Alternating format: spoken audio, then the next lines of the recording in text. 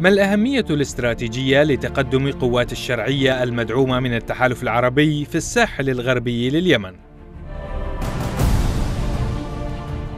ما الموقف الدولي من الاختراقات الميدانية التي تحققها المقاومة؟ وما حدود التقدم العسكري الممكن في جبهة الحديدة؟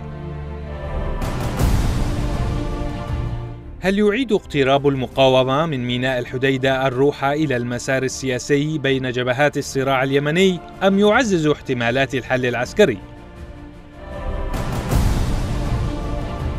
أسئلة تأتيكم في برنامج حديث العرب بعنوان ما أهمية تقدم الشرعية اليمنية في الساحل الغربي؟